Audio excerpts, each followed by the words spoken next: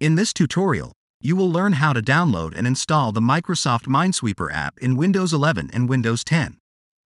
First, open your Microsoft Store.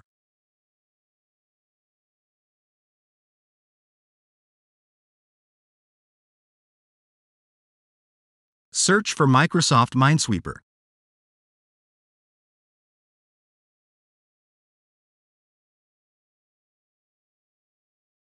Click on Microsoft Minesweeper app.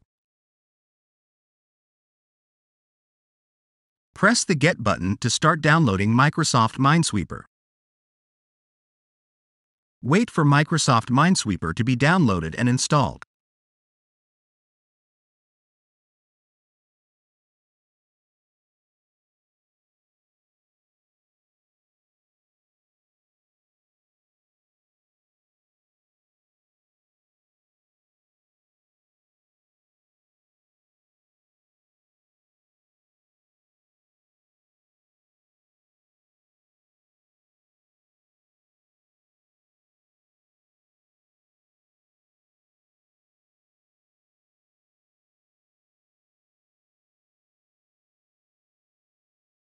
If this tutorial helped you, don't forget to leave a like and subscribe. Thanks for watching.